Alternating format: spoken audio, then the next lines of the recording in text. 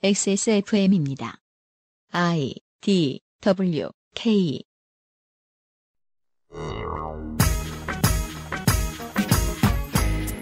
쇼미더머니에 등장하는 젊은 래퍼들은 성공하면 이 다음에 팬도 늘고 돈도 잘 벌고 조공도 많이 받고 그럴 겁니다. 연예인이 되면 비교적 당연한 일이죠. 교회를 키운 종교인이 그런 이득을 취하는 것도 당연한가요? 한국의 경우 답변은 그렇다일 겁니다.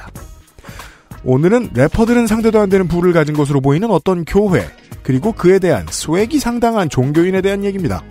2018년 10월의 PD수첩 rewind입니다.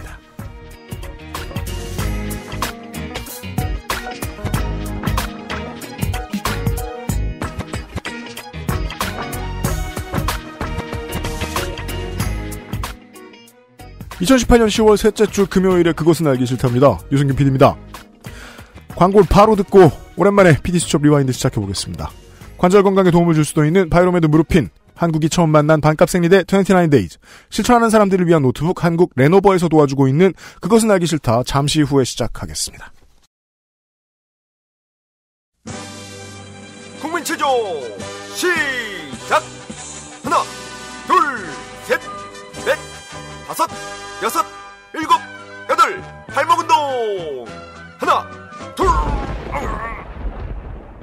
안 괜찮으시죠? 관절 건강에 도움을 줄 수도 있는 무르핀이라면 그 노래와 춤 끝까지 할 수 있게 도움을 드릴 수 있어요. 관절 건강엔 무르핀이니까요. 유해물질 무첨가 잘 만들고 체갑 29 days Bluetooth, headphone, speaker, Sony, Monster, Wireless. Join the freedom. XS Mall. JJL. Speaker. Charge 3. Bluetooth speaker. Go. Clarity. HDBT. Headphone. Headphone. Bluetooth.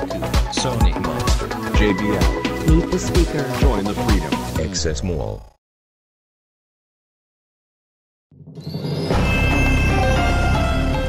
PD 수첩 리와인드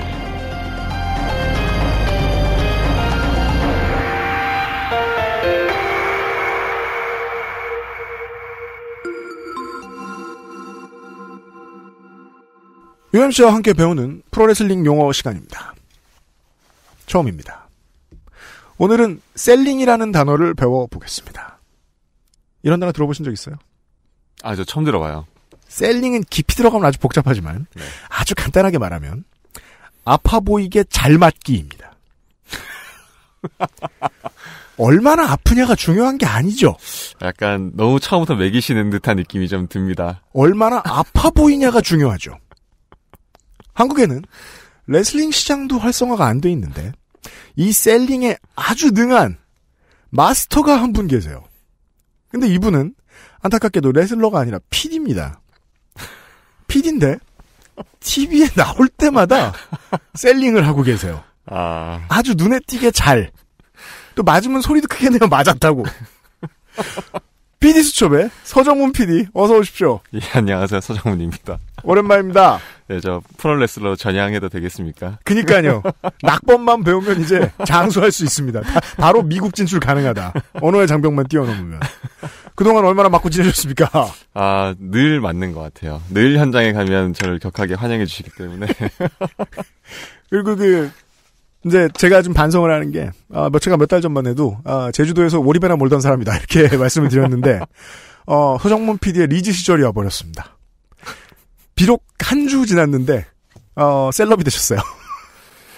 예, 뭐 셀럽이라기보다는 네. 그래도 저 방송에 관심 가져주셔서 예, 여러 군데 나가고 있습니다. 김사만을 검색하면 서정문이 나옵니다, 이제. 그건 좀 부담스럽습니다. 그니까요. 그 부담에 대해서는 말미에 좀 말을 해보도록 하겠고요. 네. 그 벌써 몇 군데 방송하고 그 저 신문사 인터뷰 막 하시고 그러셨어요. 네, 그렇습니다. 몇 군데 하셨어요? 아세요? 세보셨어요? 저기 저희 회사 그 MBC 그 시선 집중에 전화 인터뷰 했었고 네. 그다음에 TBS 김어준의 뉴스공장에 출연했고 네. 그다음에 그 신문 인터뷰는 제가 두 번 정도 했던 것 같아요. 그리고 어제는 저 카타콤 방송 그 어, 예, 예. 예, 예, 예. 네네. 유튜브 라이브 봤습니다. 대규모 비자금에 대한 의혹도 불거졌습니다. 지역 담당 장로가 자살을 했으니까 그때 트럼프에서 나오는 그 통장을 전부 다 합쳤는데 그 합산 금액이 보니까 860억이다. 그 돈을 어디에 어떻게 썼는지 김상환 목사님하고 박 장로 외에는 그거는 아무도 몰라요. 이미 그 방송원 인터뷰를 통해서 그 말씀 여러 번 하셨더라고요. 그 재정 담당하신 고 박모 장로원님. 네네. 의 유서 내용 때문에 이 아이템을 시작하게 됐다. 그랬죠. 라고 말씀을 하셨죠. 네. 네. 그러니까 이제 PD의 인생이라는 게 날짜는 정해져 있고 음. 방송 날짜는 정해져 있고 이제 이런저런 아이템을 이제 사전 취재를 막 하는데 제가 그 아이템을 보게 된 거는 조폭들이 연관된 사건을 한 달 정도 넘게 보다가 네. 아 이제 이거는 좀 잠시 접어야겠다 하고서 넣어놓던 상태에서 음. 이제 명성교회에 세습 논란이 있다는 걸 좀 봤어요. 네. 근데 문제는 저는 사실 뭐 저도 그렇고 일반인들은 교회 세습에 대해서 잘 몰라요. 그렇죠. 교회 세습이 뭔지도 잘 몰라요. 맞아요. 그래서 이제 그걸 좀 보고 있는데 이제 그 관련한 내용들을 보다가 그 교회에서 그 재정을 담당하시던 장로 한 분이 투신 자살을 하셨다. 네. 근데 그분이 남긴 유서를 제가 보게 된 거예요. 네. 그 유서에 따르면 교회 목사님 김사원 목사님께 남기는 유서인데 음. 당회장 목사님 어뭐 죽음으로 불충을 대신합니다. 네. 절대 횡령이나 유용은 하지 않았습니다. 절대 횡령이나 유용은 하지 않았습니다. 이렇게 끝나죠. 이상하죠. 이상하죠. 그러니까 저는 처음에 이상했던 거는 죽음으로 불충을 대신한다라는 거는 음. 그 진짜 일본 그 무사 소설 같은 데서 보던 그런 문구란 말이에요. 할복하기 전에 하는 말. 정말 살벌하잖아요. 네. 그러니까 이게 죽음으로 불충을 대신한다 그러면 그 두 사람의 관계라는 게 네. 주군의 관계였던 그렇죠. 거잖아요. 군신의 관계. 네, 그렇게 네. 되는 거잖아요. 음. 왜냐하면 충이란 단어가 뻔히 나와 있고. 아, 그러니까요. 네. 근데 그런 게 왜 교회 목사님과 장로의 관계가 그렇게 맺어졌을까? 게다가 그 뒤에는 유용을 하지 않았다라는 말이 써 있어요. 문제는 절대 횡령이나 유용하지 않았다라는 그 문장이 음. 목사님한테 남긴 유서에도 있고 음. 장로님들한테 남긴 유서에도 있고 가족들한테 남긴 유서에도 있어요. 그 말을 해야 할 필요가 있었다는 건 사라졌기 때문에 행방이 궁금한 돈이 한 뭉치가 있었다는 겁니다. 유서를 본 많은 사람들이 그런 의심을 하게 되죠. 네. 따라서 돈 때문에 목숨을 버렸네? 라는 게 좀 분명해 보이는 측면이 있지요. 추측입니다. 정황이고. 근데 돈 때문에 충을 지키겠다며 목숨을 버려요. 교회 장로가. 조합이 이상한 조합들이 한데 뭉쳐있는 유서인 거예요. 그러게요. 교회, 돈, 군신 관계, 혹은 주군에 대한 불충. 각자 어울리지 않는 자리에 있어야 될 단어, 문장들이 네. 그 유서 한 장에 같이 모여 있으니까 네. 저는 굉장히 이상한 느낌을 받았고 네. 그래서 이 사건을 한번 취재해 보자. 네. 그렇게 발을 들이게 된 거죠. 사실은 다 알고 보면 이런 얘기하면 또 그 이 좁은 XSFM 미디어 센터 정문에 오물투축 당할까봐 무섭긴 하지만 어, 사랑의 교회 문제라든가 최근에 나와 있는 그 부자 세습으로 문제가 됐던 교회들 이 유서의 내용 가지고 설명할 수 있는 것들이 되게 많다는 걸 알게 되긴 하는데 음. 예 문을 열었더니 다 군신 관계고 다 돈 문제고 이런 여튼간에 그래서 이 얘기는 벌써 그 프로테스탄트 관련 언론사들뿐만이 아니라 카톨릭 등에서도 매우 관심을 가졌던 문제고 어, 2015년, 2016년부터 꾸준히 제기되어 오던 문제였어요. 그래서 어느 정도까지 대강은 알고 있었는데 그래서 제가 오히려 더 큰 기대가 없었던 거기도 하거든요. PD 수첩 그래? 그 뭐 전문 언론사에서도 그렇게 많이 못 다뤘는데 이거? 그런데 사람들도 아까 소정핀이 말씀해주신 대로 관심 별로 없을 것 같고. 음. 근데 제가 기대했던 것보다 본편을 보니까 훨씬 내부 깊숙이 들어가셨던 것 같았어요. 제가 보기에는. 행사 통제팀의 무전 내용이 나와요. 방송에. 나오죠.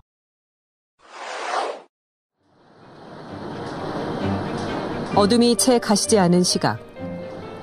같은 옷을 차려입은 교인들이 새벽 예배를 준비합니다.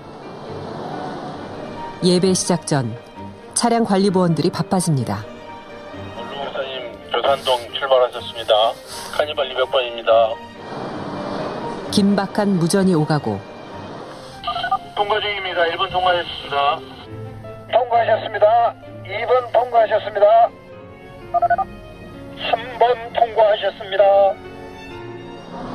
교인들이 일렬로 서 그를 마중합니다. 명성교회 김삼한 목사입니다. 왜 산업 스파이 아냐? 뭐 업계 기밀은 아니니까 네. 안에서 도와주는 분들이 많이 계셨어요. 그러니까 그러니까요, 이제 예. 공부전을 땄고 그다음에 그렇게 목사님이 아침 출근할 때마다 봉사하시는 분들이 다 교인들이잖아요. 그렇죠. 교회 차량부라고 부르는데 맞습니다. 그분들이 그렇게 일사불란하게 음. 그러니까 교회로 들어오는 각각의 길목에 서 계시다가 네. 쭉 차량 통제를 하시다가 목사님이 언제 출발하고 어떻게 들어오시는지 그래서 우리가 어떻게 그분을 영접하는지 네. 이런 것들을 좀 디테일하게 얘기를 해주신 분이 계시죠. 아, 그러니까 저희가 그 장면을 포착할 수 있었던 거고. 이게 정말 충격적이었던 게 보통 군사령관쯤 되는 사람 왔다 갔다 하면은 컨보이의 두세 팀 정도가 무전을 주고받는 걸로 제가 알고 있어요. 근데 거의 그 정도인 거예요. 포스타급인 거예요. 어, 그 디테일이 좀 놀라웠습니다. 근데 제보자가 은근히 있긴 있다, 있었다는 거죠. 그럼요. 교회 안에 그러니까 사실 그 10만 교인이라고 하고요. 명성교회는. 네. 그 다음에 실제로 제대로 출석하시는 분들은 한 3만 명 정도로 알려져 있는데 네. 그 중에서 이 교회의 어떤 여러 문제점을 인식하고 행동하시는 분들은 진짜 소수거든요. 아, 여러분 있으시다. 저는 혹시 뭐 여러분, 많은 분들이 도움을 주셨다고 하시길래, 네. 아, 이건 조직의 균열이 난 수준 아닌가? 이렇게 생각했는데, 교인이 워낙 많아서. 교인이 워낙 많으시기 때문에 그거에 교회 이를테면 교회의 어떤 행보에 반대하거나 문제를 제기하시는 분들은 진짜 손에 꼽을 정도예요. 그러니까 엄청 외로운 싸움을 하고 계신 거예요. 그분들은. 예를 들어 항상 출석하는 뭐 3만 명 가운데 뭐, 뭐 2, 30명 있다 칩시다. 네. 감히 이제 손을 들어가지고 당회장 목사님 뭐 이런 거 어떻게 된 겁니까? 음. 근데 몇 명 정도만이라도 목소리를 내면 돈이 규모가 너무 크니까 돈은 제일 무서운 건데 나머지 교인들이 잘못 생각할까봐 두려워서 돈 함부로 못 움직일 수도 있는 거잖아요. 그게 그렇게 해야 정상이죠. 아, 예. 네. 그죠. 그걸 알아본 거죠. 네. 네. 그 다음에는 김사만 목사의 설교 내용들이 나와요. 저 유명한 세월호 침몰과 관련된 폐륜 발언이 네네. 나왔고, 네. 그리고 그 다음에는 스웨거들이 나와요. 네. 네. 네, 이거 잘하고 저거 잘하고 대단한 사람이다, 내가. 아주 재밌는 걸로 보여주셨던데. 네. 의사도 내 손으로 치료한 의사가 많고 유명한 병원 원장도 치료한 일이 많아요. 현대의학으로는 99.9%가 죽을 애도 기도를 통해서 살려주므로 하나님이 하나님이 살아 계셔서 내게 권위를 주시는 거예요. 할렐루야. 내가 비행기를 탔더니 캐도릭 교인들이 전부 다 나보고 인사해요. 그래. 그리고 어떻게 나 아세요? 그러니까 새벽 설교 듣는데. 천주교 교인이 왜 내 설교 들으세요? 그래. 신부님은 설교를 잘 못해요. 이러더라고. 되게 많이 보셨을 거 아니에요. 김사만 목사의 설교를. 설교를 많이 뒤져봤죠. 좀 아까운 다른 도프한 구절들 없- 없었나요? 음, 이제, 목사님이 이제 그 사모님에 대한 얘기를 좀 하실 때가 있었는데, 네. 이제 뭐 감기에 걸리셨다. 음. 그럼 이제 기도해주면 감기가 낫는다던가. 약사 역할. 침대 및 휴양지 역할.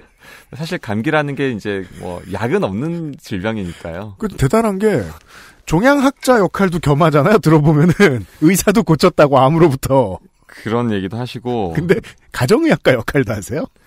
그 다음에 저는 사실 방송에는 쓰지 않았는데. 네. 교회를 떠나거나 하느님을 떠나면. 네. 망한다. 망한다. 음. 우리 교회 출석하던 피아노 반주하던 사람이 있었는데 지금 저기 길거리에서 노숙한다. 어. 교회를 떠난 사람이기 때문에. 아 그런 얘기도 해요. 그런 얘기에 사실 제가 오랜 그 교회를 다닌 신자라면 네. 조금 공포심을 느낄 수 있겠다라는 생각을 했고 네. 실제로 제가 만난 여러분들이 그런 얘기를 많이 하셨어요. 어떤 저주에 가까운 그런 설교 내용을 들을 때마다 좀 무서웠다고. 네. 한국의 대표적인 그루밍 중에 하나잖아요. 교회에서 불신지옥이라고 하는 걸. 그리고 그 영상들 편집해 놓으신 거 보면 또 그리고 지금 사회의 통념에 비해 청년들이 되게 많아요. 교회에. 예, 뒷모습만 봐도 젊은이들인지 뻔히 알 수 있는 네네네네. 그런 사람들 되게 많아요. 네. 그럼 그 사람들은 소위 말해 모태신앙이라고 해서 어릴 때부터 그 얘기를 쭉 들어왔던 사람들. 그런 분들이 상당히 많으시죠. 음. 그러니까 청년이라고 해도 교회를 30년 이상 다니신 분들이 상당한 거예요. 아, 예, 예. 예. 그러니까 태어나서 다니신 분들도 계시고 유치부부터 거기서 같이 계속. 그런 분들도 있고 예. 아니면은 한 뭐 중고등학교 때부터 다니기 시작해서 한 20여 년 넘게 다니신 분들도 계시고 음. 그분들이 우리가 얘기하는 청년인 거예요. 음. 그러니까 아. 청년이라고 해도 이를테면 교회의 역사를 한- 함께 하신 분들이기 때문에 음. 굉장히 그 교회의 영향력 안에 놓여 계신 분들이고 네. 그다음에 저도 이번 취재하면서 좀 많이 알게 됐는데 음. 교회 공동체 생활이라는 게 굉장히 강력해서 그걸 몰라요. 밖에 있는 사람들은. 그러니까 우리가 생각했을 때는 뭐 대학 친구, 뭐 고등학교 친구, 네. 사회 친구 이런 게 다 있는데 음. 그 안에 계신 청년분들 얘기 들어보면 이 교회에 문제가 많이 있다는 걸 인식하고 있음에도 불구하고 못 떠나는 이유, 음. 내 모든 생활, 인간 관계가 이 다 교회 안에 있다는 거예요. 음. 그러니까 이 교회를 내가 떠나는 순간 사회로부터의 분리. 그런 느낌을 가지신다는 거예요. 예. 그래서 심지어 이 교회 문제를 좀 여기고 있는 뭐 부부가 있다. 음. 생각이 다르다. 음. 그러면은 정말 농담이 아니고 이혼까지 거론된 거론될 정도로 음. 조금 심각한 그런 사안이었어요. 교회 다니시는 분들한테는 교회를 빠져나가는 것보다 이혼이 더 쉽다고 생각할 수 있을 정도. 그럴 수 그렇게 얘기를 하시더라고요. 여보 저기 PD처럼 만나지 마. 오 이혼할 거야. 어! 라는 얘기를 들으면서 나오시는 분들이에요. 와 이거, 이거 충격 받았어요. 야. 그러니까 저가 이제 수 있어요? 취재를 예. 깊이 하면서 그런 것들을 좀 놀랐죠. 음. 그러니까 삶 전체와 엮여 있기 때문에 굉장히 교회 문제를 얘기하는 것 자체가 굉장히 어려운 일이고 큰 결심이었어요. 그렇군요. 숫자가 적은 이유를 알겠네요. 음. 그리고 그분들이 얼마나 큰 용기를 냈어야 하는지도 알겠네요. 그렇죠. 아니 우리가요 농담 삼아 저 학교 선배 중에 내가 36초 36중 369 나와가지고 어 36대 가기 싫어서 우리 학교 왔다 이런 농담을 하는 사람이 있었는데 네. 그렇다고 해도 그 학교별로 캠퍼스도 다르고 만나는 친구들도 뺑뺑이 돌아오고 시험 보고 다 다르잖아요. 그렇죠. 어릴 때부터 20년 동안 속, 2, 30년 동안 속해 있는 커뮤니티?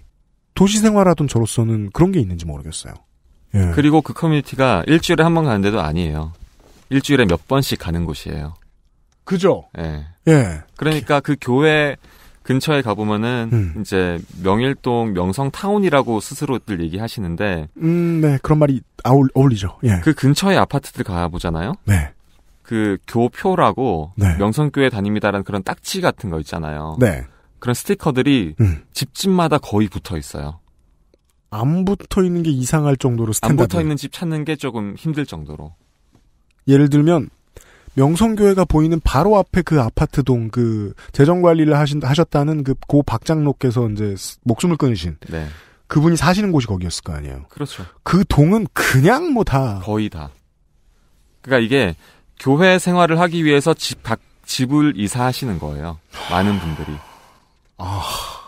명성교회에 다니려고 명일동에 온 사람들도 있다. 그럼요. 다른 교회 다니시는 분들도 그렇게 하는 경우가 좀 많다고 하더라고요. 음. 그러니까 교회 생활이라는 게 워낙 주중에도 계속 벌어지는 일이기 때문에 네.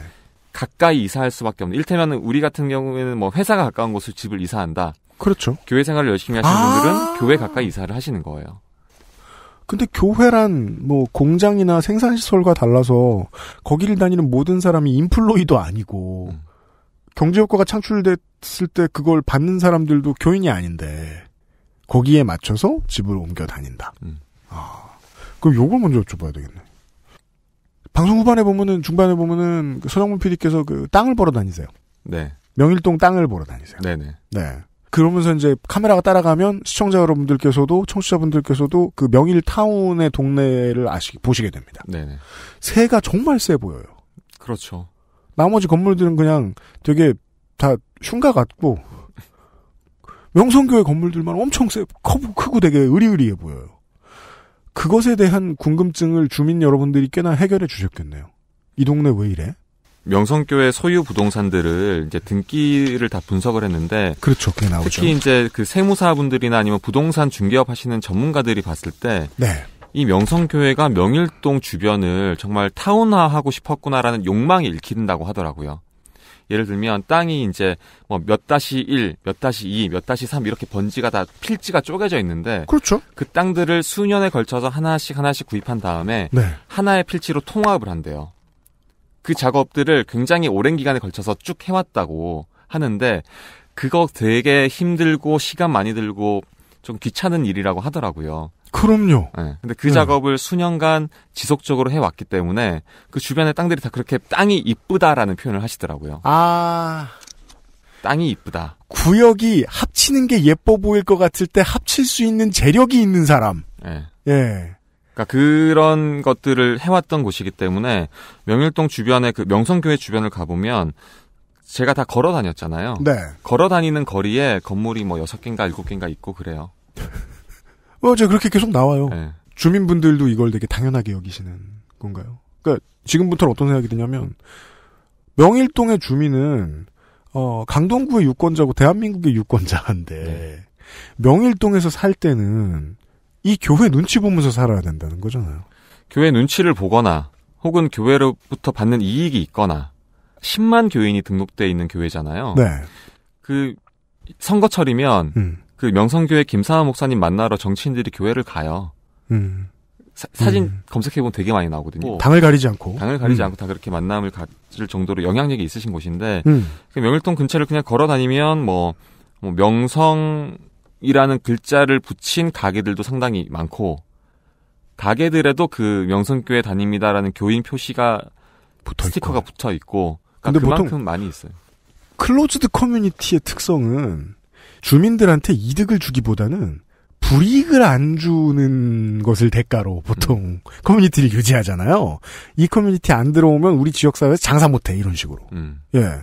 그러니까 이제 그거는 사실 교회가 그런 식으로 작동했을 일이라고 좀 상상하고 싶지는 않은데 어쨌든 그 교인분들 말로는 네. 이 교인이 되어야 음. 교회에서 벌어지는 각종 모임 행사 같은 게 있을 때 음. 어, 저기 우리 교인이 하는 곳이지. 우리 교인이 하는 사업체야. 이렇게 연결되면서 설사 교회 생활을 깊이 하지 않더라도 그 교회를 다니는 음. 그런 사람들도 많다고 하더라고요.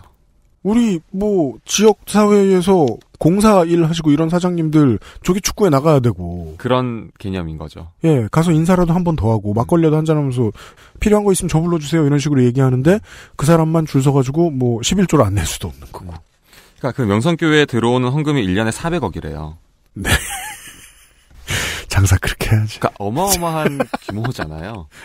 돈이 그렇게 집중되는 곳이라면 네. 당연히 사람들도 올릴 수밖에 없겠죠. 네. 3주 전에 아이쿱 생협 얘기하면서 25만 생업, 생업, 생협 조합원 얘기하길래 나는 25만 가지고 뭐 한 건가 장사를 이런 생각이 들었는데 여기는 10만 가지고 1년에 400억. 야 그렇군요. 정치인 얘기하셨으니까 말인데. 어, 시간상 편집해 놓은 데는 엑기스만 나옵니다. 네. 그 엑기스에는 전두환 부부와 네. 박근혜 전 대통령이 나왔습니다. 네네. 표로 선출할 수 있는 권력의 최정점의 정치인들만 나왔어요. 네, 그렇죠. 전두환 대통령 각하 네 분께서 저희 교회를 방문해 주신 데 대해서 뭐 감사한 마음이 우리에게 있습니다. 각하 네 분에게 어, 우리가 꽃다발을 하나 준비했습니다. 우리 예, 아, 우리 모두 뜨겁게 박수하겠습니다. 2014년 3월 6일 국가 조찬기도회가 열렸습니다. 박근혜 대통령이 참석한 이 자리에서 김 목사가 대표 설교를 합니다. 박정희 대통령께서는 두 날개로 높이 날 수 있는 대한민국을 만들었습니다. 우리는 다시 한번 박근혜 대통령님을 통하여 그런 시대가 오리라고 믿습니다. 전자 같은 경우에는 그 표가 우리 표가 아니긴 합니다만. 여튼, 아, 그래서 붙은 이름이 국가조찬 기도회. 네. 저도 그 이름이 참, 이, 이채롭다. 이렇게 생각하고 그냥 몇 년 전에 그냥 보고 말았는데, 장난치나 이렇게만 생각했는데, 그 자료를 보는 순간, 영상을 보는 순간 딱 들어왔어요. 국가조찬이라고 불릴 만한 게스트들이 온 거예요. 아, 그럼요. 말 그대로 국가라는 이름이 붙을 정도의 규모인 거죠. 그 다음에 이명박 대통령 당시 시절에는 그때도 논란이 되기도 했었어요. 국가조찬 기도회에 참석한 이명박 대통령이 네. 무릎 기도를 하거든요. 네. 근데 역대 대통령 중에 그런 사람이 없었다는 거예요. 아, 대통령이니까. 아. 한 나라의 대통령이 어떤 특정 종교의 어떤 무릎을 꿇는 건 좀 이상하다. 네, 그게 논란이 좀 된 적도 있을 정도로 네. 국가 조찬 기도회라는 거는 어쨌든 한국 교회에서는 큰 행사죠.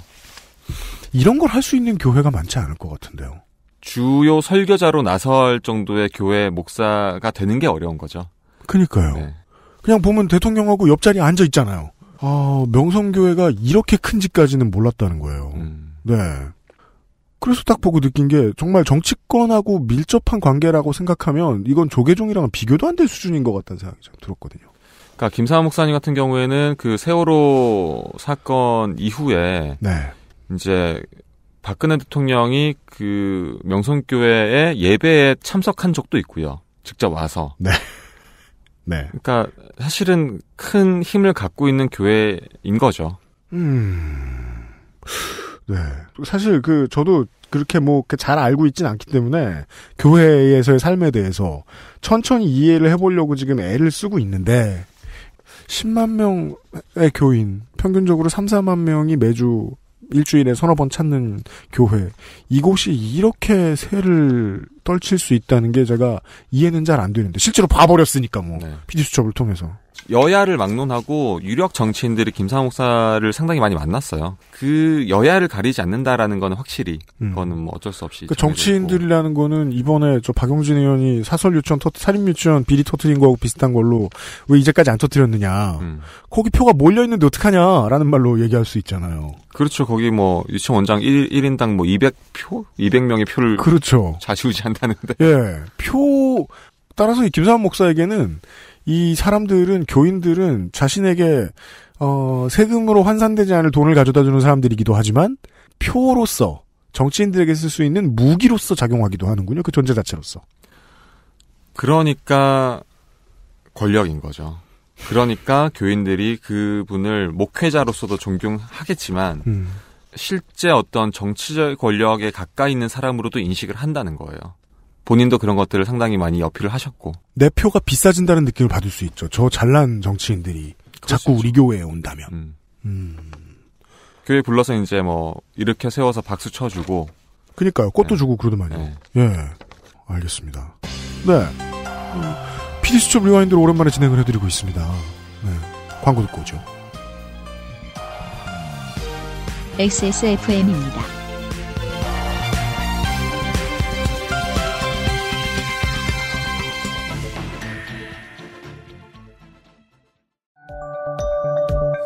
펴서 접어서 눕혀서 뒤집어서 태블릿처럼 때로는 메모장처럼 세상에 없던 노트북 레노버 싱크패드 X1 요가 시리즈 실천하는 당신을 위한 노트북입니다. Lenovo for those who do.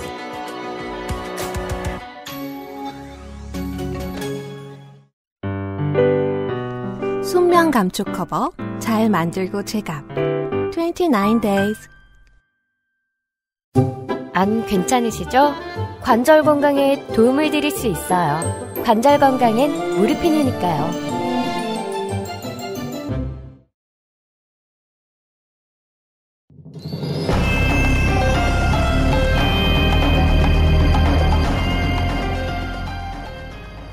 그것은 알기 싫다. 291회 금요일 순서입니다.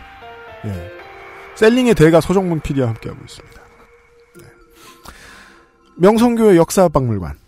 네. 네. AKA 김사만 메모리얼 뮤지엄이 나왔어요. 나왔죠. 교회 안에는 명성교회를 소개하는 역사관이 있습니다. 전시의 대부분은 김삼환 목사 개인의 업적입니다. 김 목사를 성자의 반열에 올려놓는가 하면 그의 일대기를 다룬 홍보 만화를 만들어 상영하고 있었습니다. 가보면은 이게 지금 북한의 김일성 찬양하는 건가 헷갈릴 정도로 가보시면 돼요. 직접 가보시니 규모가 어떻던가요? 아, 이게 좀 말씀드릴 게 있는데, 저는 그 역사박물관에 직접 들어가지는 못했어요. 아, 그럼 누가, 누군가가 찍은 저희 거군요? 제작진이 들어갔는데, 네. 왜냐면 제가 이미 이 취재를 시작한다고 공개하는 순간, 면이 까였다. 얼, 얼굴이, 뭐, 속된 말로 얼굴이 팔린 상태가 되어버려갖고, 네. 제가 명일동 주변을 잘 못 다녔어요. 그 교회 주변을. 그렇죠. 네. 그 다음에 실제로 뭐, 저희가 뭐 카메라 들고 다니면 굉장히 이미 음. 제작진이 걸 너무나 잘 알고 이제 오시기 때문에 그렇죠. 제가 그 교회 내부로 들어가는 건 쉽지 않았어요. 사실 저 그 명성교회 내- 예배당도 못 들어가 봤어요. 음. 그죠. 그러면 이제 막 척추가 없어진 상태로 나타나, 나- 다시 나올 수 있었을 테니까. 거기까지는 셀링하면 안 되고. 진짜 아프니까. 아, 그럼 이제 제작진이 들어갔다. 네네. 가니까 또, 그, 친절하게 어떤 분이 설명을 해주시고, 우리 김상환. 목사님이 어쩌고 저쩌셨고, 되게 자연스럽게 기대할 수 있는 이제 전 교인 혹은 지금 교인의 인터뷰가 나오더군요. 이거 뭐 김일성 같다. 예. 그러니까 이 교인분들은 그간은 잘 몰랐는데 음. 교회로부터 한 발짝 떨어져 생각해 보니 음. 이상하더라라는 점을 이제 저희한테 얘기를 하신 거고 저희는 그것들을 확인하기 위해서 이를테면은 그 역사 박물관을 가본 거거든요. 네. 그러니까 교회 역사 박물관이라는 게 말 그대로 교회 역사가 아니고 김사만 목사님의 어떤 개인사를 쫙 뭐 애니메이션이라던가 뭐 닭종이 인형이라던가 그래요? 아니면 그분이 사용하셨던 뭐 소품이라던가 아! 이런 것들로 쫙 펼쳐놔서 이제 전시를 하고 있던 공간이었기 때문에 일단 저도 그 취재 영상을 보고 나서 조금 놀랐고요. 그니까요. 그, 제, 가장 최근에 제가 그런 모습을 본 거는 그, 도산공원에서. 예, 소품 나와 있고, 그런 건 봤는데. 네. 예, 이거 장군님 축지법 애 같은 것을, 어, 예. 그리고서 그 얘기가 나오죠. 어, 그걸 정확하게 이제, 저, 지금 요즘 나레이션 해주시는 그 유명한 아나운서분 누구시더라? 지금 손정은 아나운서. 아, 예. 그분 목소리로 나오더만요. 그, 이런 이상한 얘기를 한다. 그리고서 이제 그 고백할 때, 간증할 때 시간에 보면 되게 많은 신자들이, 어, 하나님께 감사하다. 음. 목사님 사랑한다. 네. 두 문장을 연결하면 하나님은 감사하는데 목사님은 사랑한다. 근데 이게 모든 간증에서 다 나오는 수준인 것 같더라고요. 명성교회에서는 빠지지 않는 말이 있습니다. 말씀으로 나를 살려주시고 양육해주신 목사님을 사랑합니다. 하나님 감사합니다. 목사님 사랑하고 존경합니다. 하나님 감사합니다. 목사님 사랑합니다. 원로 목사님, 담임 목사님 감사합니다. 저희가 찾은 간증 영상에서는 거의 모든 영상이 그렇게 마무리가 돼요. 이 코러스 라인. 이 코러스 라인은 누가 가르치는 건가요? 그게 이제 그거는 교인들 사이에서 증언이 좀 엇갈리는데요. 네. 간증을 하기 전에 그 간증 원고를 네. 이제 대- 나 혼자 대뜸 써갖고선 그 단, 강단에 올라가서 읽는 게 아니고 네. 사전에 그 위에 뭐 그 교역자들을 통해서 이제 사전에 컨펌을 받는데요. 방송하고 똑같군요. 그 똑같아요. 네. 그 과정에서 이제 조금 요런 게 들어가야 되지 않겠느냐라는 뭐 요청 혹은 요구를 받으시는 경우도 있다 그러고 음. 아니면 대부분의 경우에는 그렇게 해 오니까 그렇게 한다. 아. 네. 요거는 그러니까 마치 라임처럼 네. 요거는 들어가는 거야라고 그렇죠. 본인들이 알고 계시기 때문에 네. 이 원고에 그게 들어가는 경우도 많다고 하더라고요.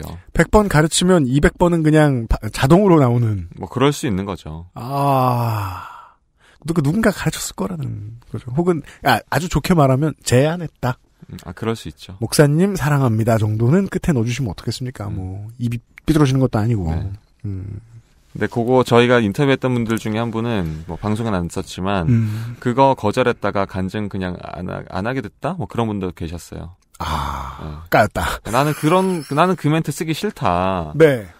그러면 곤조 부렸다가. 예, 그냥 그럼 간증 다음 기회에 하시는 걸로. 벤치 먹었다. 네, 그런 분도 계셨어요. 아. 저는 이제 그 PD 수첩이 음, 작년 이후부터 되게 그 친절한 매체가 되려고 노력하고 있다고 많이 생각해요. 네. 저는 네. 편집에 있어서 아, 이 문제에 대해서 관심이 없으시던 분들이 자연스럽게 그 빨려 들어갈 수 있는 스토리보드를 내놓으시려고 애를 쓰신다고 생각하거든요. 네네. 그 중에 제일 중요한 부분이 이번 방송에서는 지난주에 나왔던 이번 방송에서는 어, 김삼환 목사에 대한 cult of personality, 그러니까 그 저 개인 우상화의 네네. 과정을 소상히 소개해 주시는, 네네. 예, 그걸 이해하기 쉽도록 보여주시는 네네. 그 과정 중에 이제 등신대가 네. 어, 스튜디오 세트 안에 있는 한학수 앵커 옆에 딱 서 있습니다. 네. 네. 보면서 그냥 보다가 어? 저 가져와? 등신대 어떻게 구해왔습니까? 어, 그 교인들이 얘기하시는 등신대가 진짜 존재하는가도 전 좀 의심스러웠거든요. 처음에 예. 등신대가 있어? 설마. 예. 근데 이제 인터넷 서치를 하다 보니 네. 그 김사한 목사님의 등신대를 제작했다라는 업체가 있더라고요. 그런 그런 클라이언트 만났으면 광고 해야죠, 당연히. 예. 그 업체가 있었고 네. 그다음에 이제 사실 이제 그 등신대를 저희가 들고 나면 절도잖아요. 그렇죠. 절도잖아요. 어떻게 가져온. 거야? 네. 저희가 제작을 했죠. 모조품. 네. 모조입니다. 진품은 아니고요.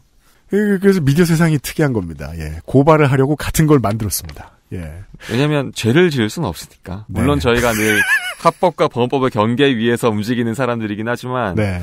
어쨌든 그렇게 명명백백한 절도는 하지 않으려고 최대한 노력하고 있습니다. 그리하여 어, 우상화의 몇 단계를 스스로 거- 어, 다시 한번 체험해 보셨다. 저는 그래서 보면서 등신대를 들고 오는 건.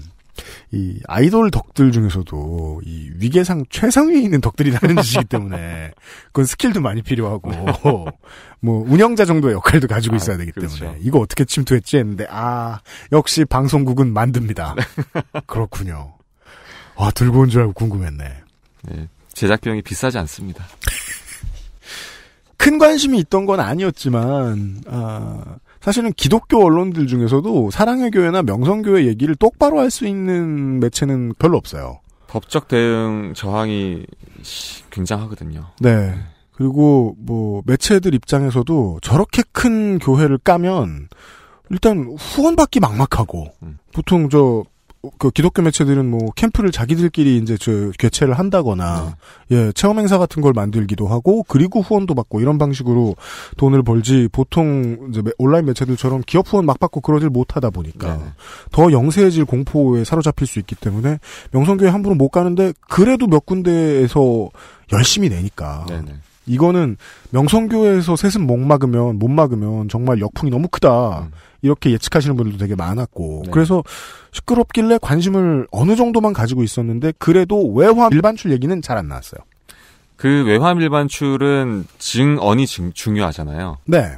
증인이 필요한 사안이고, 근데 그거를 확보하는 게 굉장히 어려운 거죠. 음. 그러니까 이를테면은 이제 교계 언론에서도 명성교회의 어떤 여러 문제에 대해서 제기를 수년 전부터 해오신 분들이 계시지만 음. 실제로 뭐 소송 당하시는 분들도 많이 계셨고 그러다 보니까 조금 외환 일반출에 동원했던 교인들이 스스로 그 자신의 그 그거를 고백하는 게 쉽지 않은 거예요. 네. 그다음 그 자칫 잘못하면은 교회 측에서 개개인한테 소송을 걸면 이제 개인이 막을 힘이 없잖아요. 네. 근데 다행히도 저희는 어쨌든 취재를 통해서 인터뷰를 통해서 그분들의 어떤 고백 혹은 증언을 다 뭐라고 해야 될까 그 다 갖고 있- 영상을 확보하고 있으니 네. 저희로서는 안정적으로 방송을 할 수 있었던 거고 음. 그 다음에 외환 일반출 자체 그 행위 자체를 교회가 인정하고 있기 때문에 네. 뭐 저희로서는 부담 없이 방송할 수 있었던 부분이죠. 그, 그 얘기 아니에요. 돌아가신 재정 담당하신 박 장로께서 해외 선교 나갈 때 선교 팀원들에게 봉투를 돌린다. 네. 그분이 이제 헤드쿼터시니까. 그러면 수십 명에서 많게는 수백 명이 만 달러씩 들고 나가서 혹은 만 달러 내외. 내외, 네. 네, 안쪽이겠죠. 네. 갔다가 모으는 이건 아주 원시적인 형태의 외화 밀반- 밀반출. 그렇죠. 이란 말이에요. 네. 여기서 뭐 질문이 또 있겠지만 아까 제가 그 기독교 언론 매체들 얘기했던 이유가 제가 어떻게 어떻게 뒤져보니까 사실 이 문제는 새로운 게 아니었던 거예요 취재가 네. 한 곳이 있었더라고요 프레시안하고 명량의 소리하고 몇 군데 매체가 있었는데 2014년에 기사를 내고 지금은 포털을 찾아보면 없습니다 네. 그 기사 쓰셨던 분들이 그 명예훼손 등등으로 소송 당하셔가지고 네. 이제 일부 무죄 받고 음. 일부 유죄 받아서 네. 지금 뭐 집행유예 중이신 분들도 계시고 그래요. 전과를 얻으신 거예요 이 보도를 했다는 이유로 그렇다면 명성교회는 이 문제에 대해서 언론 통제에 성공한 경험이 있는 거잖아요 교회 입장에서는 어쨌든 법원이 네. 일부 유죄를 확인해 줬으니까 음. 교- 교회 입장에서는 이제 그 어- 언론들이 잘못됐다라고 얘기하시는 부분 여지가 분명히 존재하고요. 네. 그럼에도 불구하고 무죄 판결 받은 부분도 있단 말이에요. 음. 그러면 이제 이 언론인들의 어떤 주장이 사실이었던 거고, 음. 그러니까 그 부분에 있어 2014년의 문제는 약간 조금 혼재돼 있죠. 그렇습니까? 아무튼 언중위는 이게 지금 제가 찾을 수 없다는 건 언중위가 기사 삭제 요청을 받았을 거라는. 뉴스엔조이 같은 경우에도 뭐 기사 삭제 요청을 받은 적이 있고, 네. 프레시안도 그랬던 적이 있고요. 음. 그러니까 사실 교회가 조금 선제적인 그런 조치를 취했다고 볼 수 있죠. 경험치를 왜 말씀드리냐면 그 승리 경험이 있으면 이번에도 능숙하게 뭔가 선전포고를 하지 않았겠느냐 MBC 측에. 선전포고가 있었죠. 뭐냐? 그 저기 방송 금지 가처분 네, 가처분 신청. 네. 그게 있었고 PD수첩이 안 받으면 서운한. 사실 사전 홍보 효과도 되고. 그렇죠. 보도 자료가 그냥 아유 PD 수첩 팀이 이렇게 영악할 수가 없어요. 잔치를 벌이겠어요. 월요일 날, 화요일 날 방송 나오는데 가처분 신청 나온다. 저희로서는 뭐 저기 진짜 저희가 아주 열심히 홍보한 보도 자료를 쓰지만 아무 소용 없다. 아 임팩트로는 방송 금지 가처분 신청이 아주 짱이다. 예, 비할 바 안 되고요. 그, 그 다음에 이제 이제 그게 방송 금지 가처분 신청이야 뭐 종종 있는 일인데 네. 조금 명성교회가 좀 특이했던 점은 뭐냐면 음. 보통은 가처분 신청했으면 법원의 판단을 기다려야 되거든요. 네. 아 기다리잖아요, 당연히. 당연합니다. 근데 조계종도 그건 합니다. 그러니까 예를 들면 저희가 낸 자료들, 그 다음에 명성교회 측이 낸 자료들을 그 법원의 판사들이 이제 쭉 검토할 시간이 필요하잖아요. 네. 뭐 방송분, 뭐 편집분도 보고 대본도 음. 미리 보고 음. 그 판결 이 판사들이 공부하는 하고 있는 그 시간에 음. 교회 측에서 저희 쪽에 따로 또 다른 내용 증명을 보냈어요. 뭐라고요? 이거 잘못 이거 방송하면은 나중에 법적 조치를 취할 수 있다. 상식적으로 봤을 때는 법원의 판단을 기다려보고 음. 그 다음에 내용 증명을 보내든 뭐든 그 다음 조치를 하면 되는데 네. 판사가 열심히 공부하고 있는데 판결 내리려고 이제 교회 입장에서는 그 판결을 기다리 판결이 나오기도 전에 네. 또 다른 법적 조치를 예고하고 있었다는 거죠. 이렇게까지 공격적이라는 건 어설프다는 뜻으로도 들려요.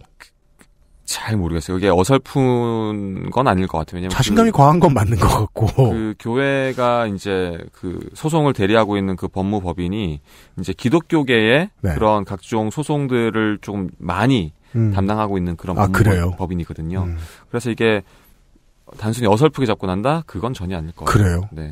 근데도 이렇게 순서를 틀려가며 문서라도 하나 더 날리려고 애를 썼다는 거 아니에요? 그렇죠. 판사가 열심히 공부하고 있는데 판결 내려고. 네. 그걸 싹 기다리기, 기다리지도 않고 그냥 난 다음 법적 음. 조치를 취하겠다. 네. 그러면 뭐, 근거가 안 나온 상태인 거잖아요. 그렇죠.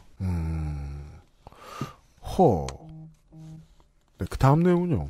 그 중소기업 운영하는 입장에서 가장 이제 그 어, 피가 마를 정도로 이상했던 얘기는 그거였습니다. 회계법인의 회계를 맡겨본 적이 없다. 네.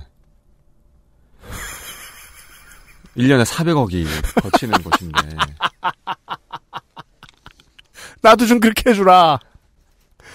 세금 낼 때마다 나가는 돈이 얼만데. 차라리 그러면 보통은 이제 이렇게 걱정하잖아요. 이건 뭐 세금을 안 내기 때문이라느니 혹은 뭐 검은 돈이 이렇게 많아서 어떻게 하겠다는 어떻게 어떻게 하겠냐느니 뭐 이런 식으로 얘기하는데 제 저는 오히려 그러면 정말 돈 문제 아무도 몰라가지고 사기와 횡령에 취약할까봐 걱정이에요. 교회 재정이라 그러면은 이게 교회가 생산 활동을 하는 곳이 아니잖아요. 네. 예를 들면 명일동 이제 81년부터인가 교회가 시작됐는데 음. 명일동이 부자 동네가 아니었잖아요. 네. 이제 교인분들 말씀 들어보면은 말 진짜 잡, 자판 깔고선 이제 돈 벌어가지고 힘들게 돈 벌어서 그거에 일부 11조를 내신 분들의 눈물과 말 그대로의 헌신으로 이 교회가 컸는데 시장 상인들이 일으켜 세웠다고 하죠. 그러니까요. 네. 그러면 그 돈이 얼마나 귀해요. 음. 진짜 이건 정말 피땀으로 번 돈인데. 네. 그러면은 교회가 교인들을 진짜 섬긴다 그러면 음. 그 힘들게 모은 그 돈을 투명하게 관리하고 좋은 일에 써야 될 텐데 음. 알고 보니 이거는 뭐 그 장로 한 분이 자살하시기까지 아무도 그 800억의 존재를 몰랐다 그러고 네. 그러니까 굉장히 불투명하게 음. 어둡게 네. 이 교회의 돈들이 관리돼 왔다라는 거잖아요. 음. 그러니까 저는 그게 제일 충격이었어요. 이게 당연히 기업도 회계 감사 받아야 되는 거 맞지만 네. 교회는 생산 활동을 하는 데도 아니고 음.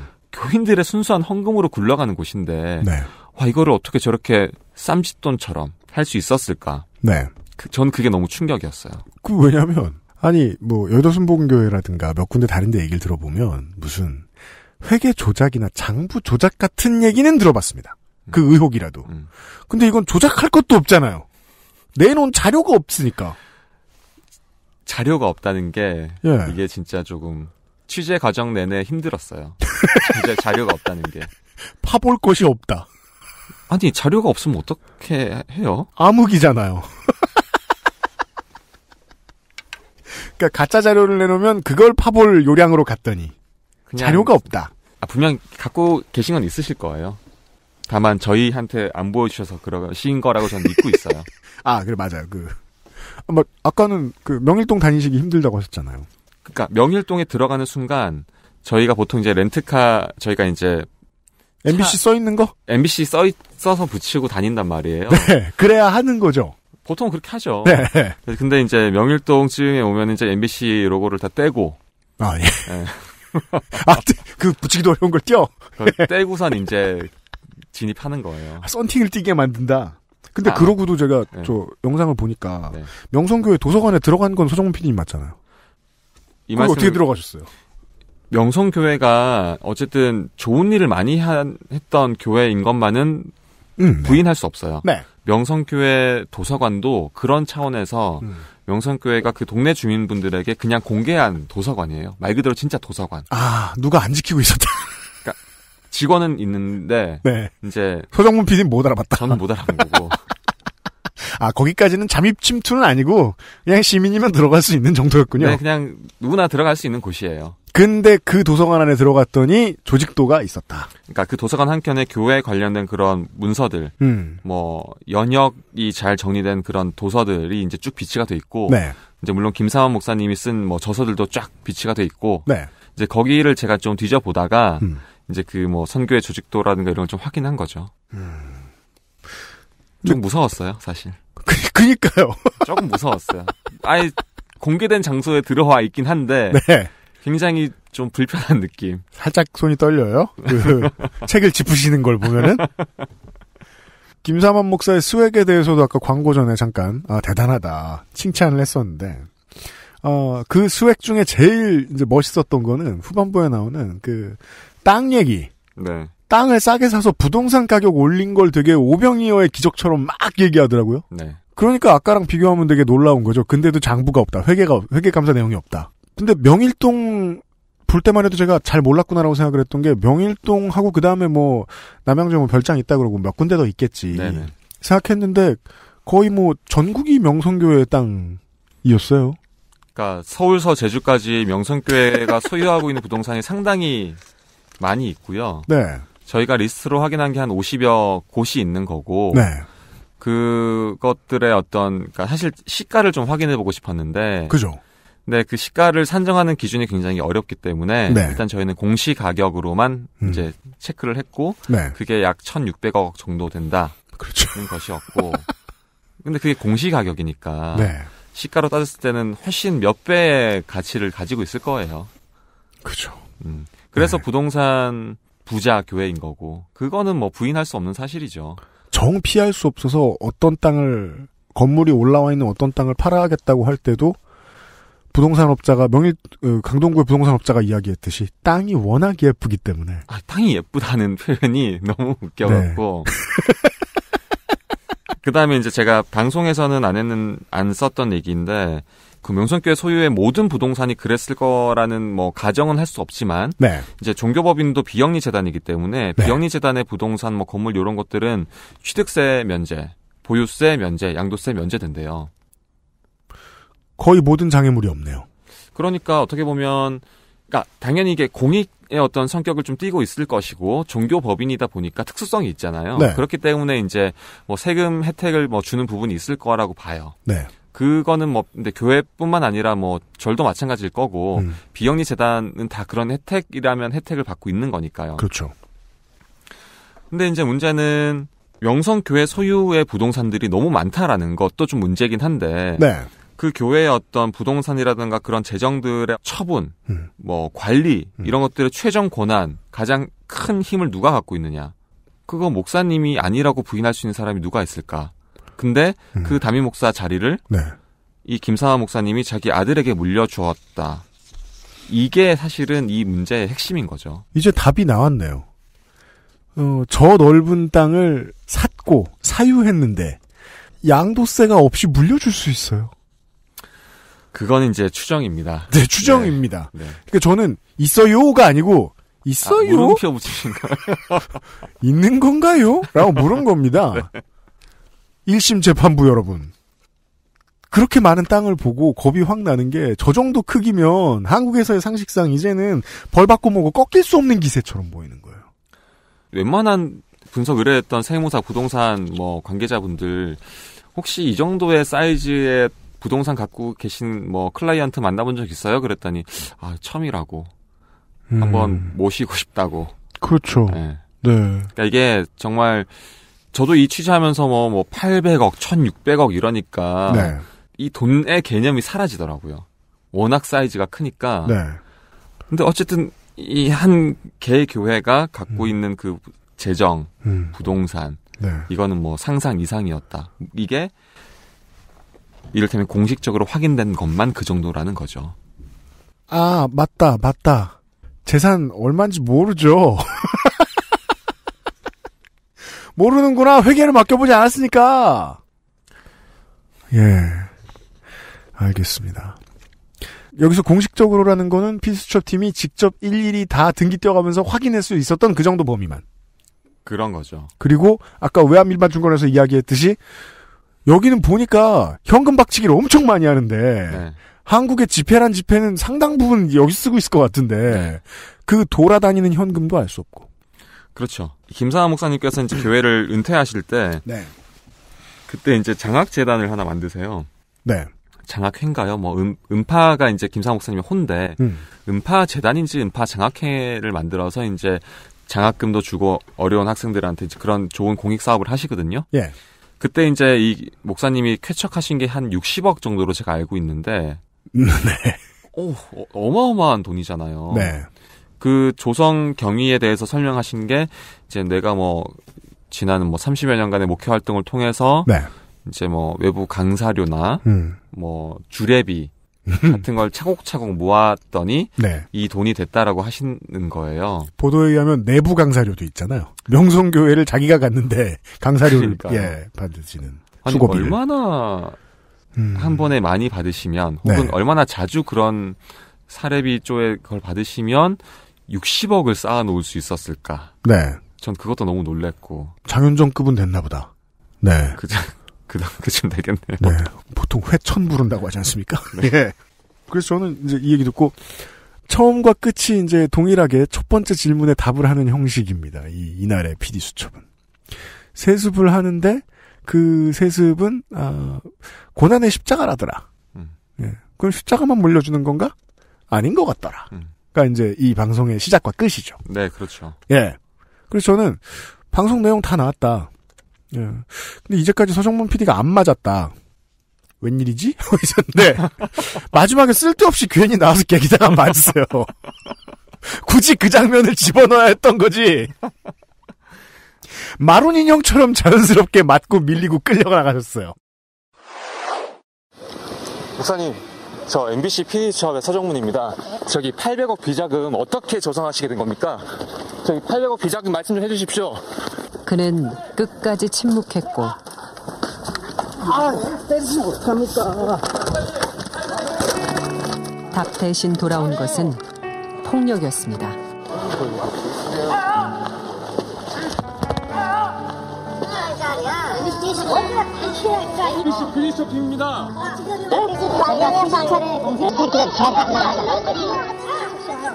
뭐 하는 짓거리야?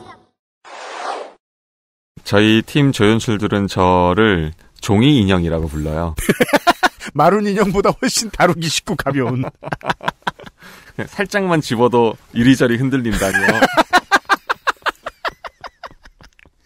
그리고 우리 아까 방송 들어가기 전에 얘기 나눴는데 허리띠 잡혀가지고 들리셨다고. 그러니까 이제 저는 사실 이제 저희는 뭐 반론권 보장을 위해서라도 네. 이제 어떻게든 여- 만나서 만나야죠. 네. 그러니까 반드시 목소리를 들어야 되고 그분들의 입장을 확인해야 되거든요. 누구를 취재하든 간에. 네. 그런데 김 목사님이나 명성교회 측을 만나는 거를 뭐 한 달 넘게 수차례 거부당했으니 네. 그럼 저희가 할 수 있는 거는 그럼 목사님 예배 때 나오시니까 음. 그때라도 좀 잠깐 뵙고서 말씀을 듣고 싶었던 건데 왜냐면 이미 그 전에는 뭐 저희가 어떤 내용 취재하고 있다 다 말씀드렸으니까요. 네. 근데 제가 질문을 몇 개를 던지기도 전에 네.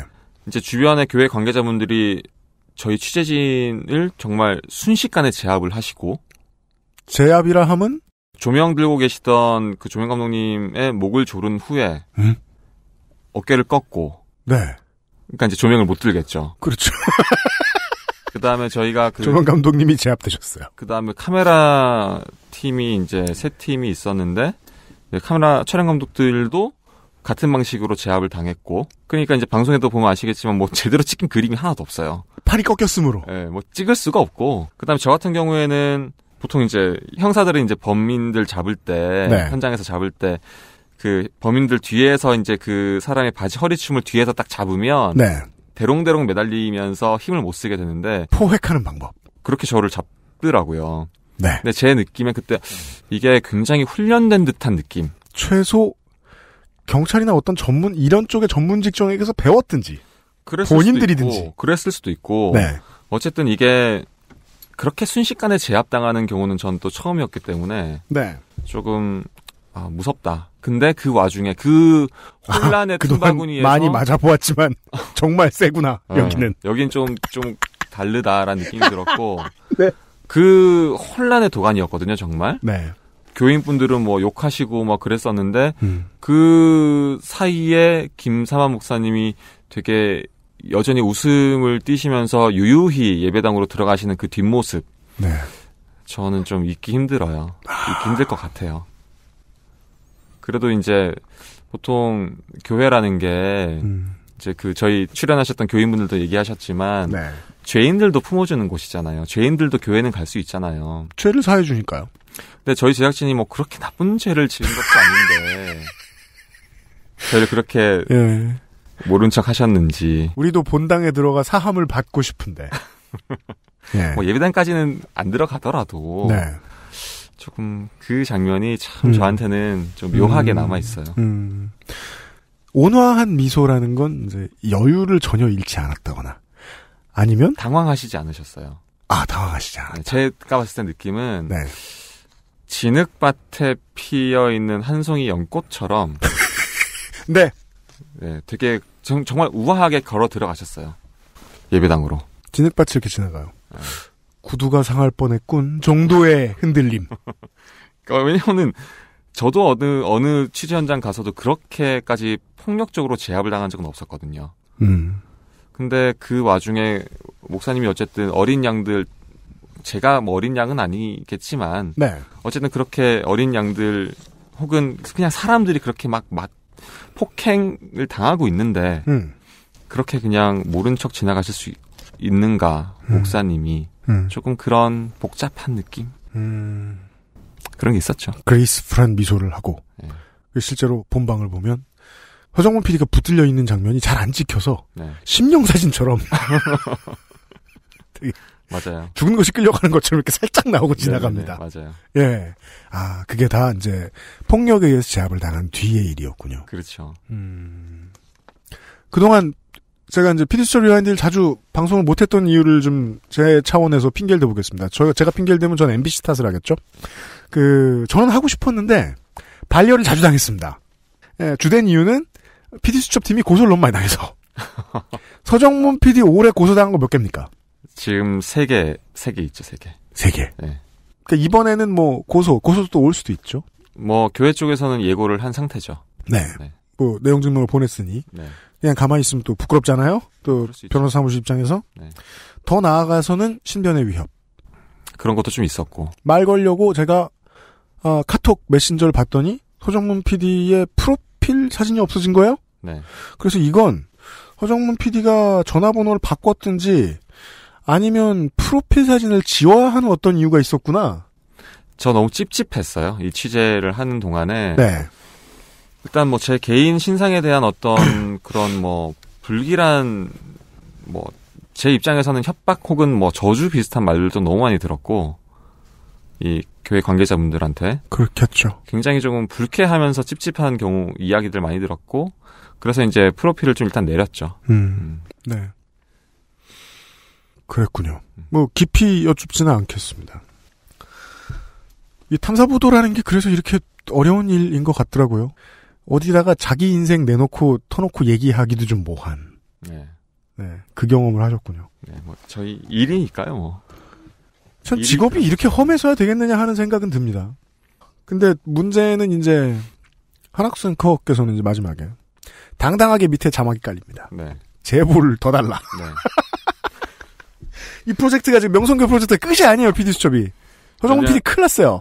왜냐하면 네. 일단 저희가 제보 갖고 있는 내용들 중에 상당수가 지금 방송에는 빠져 있고 뭐 네. 기본적으로 물리적인 한계가 있으니까요. 방송 시간은 정해져 있고 그다음에 전 이게 무슨 얘기인지 압니다.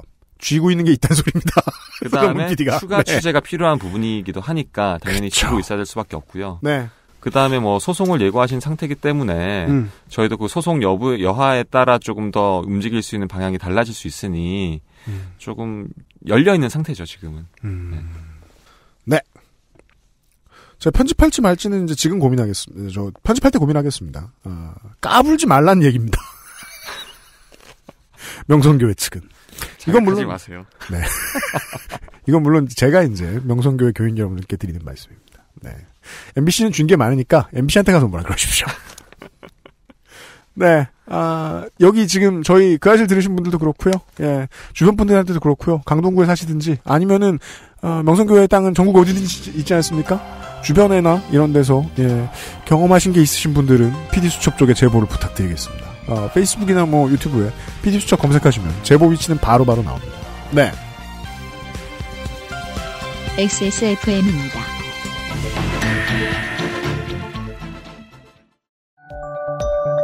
초일류 글로벌 PC 브랜드 레노버에선 내가 원하는 컴퓨터를 customizing 할 수 있다, 없다? 지금 액세스몰에서 확인하세요. Lenovo for those who do.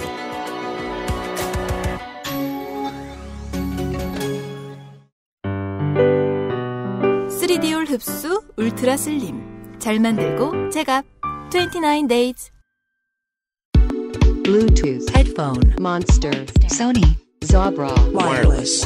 Join the freedom. Access Mall. 이제 좀 뭘 좀 많이 드시고 네. 근력 운동도 좀 하시고 아, 그 컨셉을 그렇게 쉽게 바꾸는 게 어렵기 때문에 어 지난번에 가볍게 들리던데 이번엔 저항 안에 이건 별로다. 셀링이라니까 이거 봐. 예. 아이 그 그저께 변상욱 기자님은 그분은 대기자, 그러니까 그분은 경험이 많으시니까 그런 얘기 툭 터놓고 하시더라고. 명성교회 측이 너무 어설펐다. 네네. 카메라가 들어왔는데 왜 폭력을 바로 휘두르고 욕설을 막 하느냐. 그리고 김상환 목사는 왜 쳐다도 안 보느냐. 다 어설펐다. 예. 음, 저도 그렇게 생각하거든요. 예. 허정문 PD한테 낚였다. 네. 맞기 좋아 보인다고 때리면 안 된다. 네. 네. 때리지 마십시오. selling의 초고수. 서정문 PD와 PD 수첩 rewind 시간 진행해봤습니다. 부디 고생 많이 하시고, 그, 명일교회, 아, 저, 명일동 땅 보러 다니실 때. 네네. 그, 고 김정일 국방위원장 생전에 입던 자켓 같은 걸 입으시더라고요. 누가요? 서정문 PD님이. 제가요? 네. 아닌데. 아이보리색 짧은 저 자켓. 아, 이게 자켓은 아니고 그냥 저기 셔츠. 뭐 말도 안 되는 거죠, 그런. 남한 사람들은 그런 거 입지 않습니다. 어, 그거 되게 이쁜 건데. 아저씨들 코디 안 될 때 보면 제일 비싼 거 제일 이상한데. 그 비싼 걸 것 같아요. 예. 아무튼 그 아저씨 후드티 시제품 준비했어요. 어, 어 선물로 주시는 거요? 이거 다음 달에 팔아요. 아 진짜요? 네. 미디엄 사이즈인데 맞으시길 바래요. 안 어, 맞으시면 감사합니다. 네, 안 맞으면 딴 걸로 바꿔드릴게요. 네, 감사합니다. 딴 사이즈도 와. 있어요. 저 이거 반드시 페이스북에 어 꼭 저기 올리겠습니다. 그럼요. 어, 조성주 소장은 매일같이 서울시에 입고 나가고 있어요. 어, 너무너무 감동입니다. 역시 물질에 저 약하군요. 고생 많으셨습니다. 다음 주에도 수고 부탁드리겠습니다. 곧또 뵙죠. 안녕히 가십시오. 네, 감사합니다.